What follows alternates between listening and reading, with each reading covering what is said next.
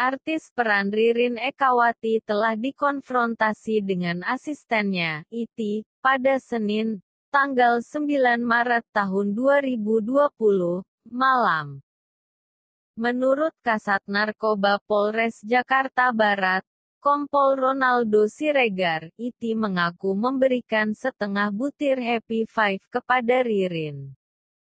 Jadi kalau hasil konfrontir tadi, Senin, malam re dengan Iti, disampaikan oleh Iti bahwa yang bersangkutan memang memberikan setengah butir pil Happy Five kepada Re tapi tidak mengetahui apakah itu dikonsumsi atau tidak, kata Ronaldo di Polres Jakarta Barat, Selasa, tanggal 10 Maret tahun 2020.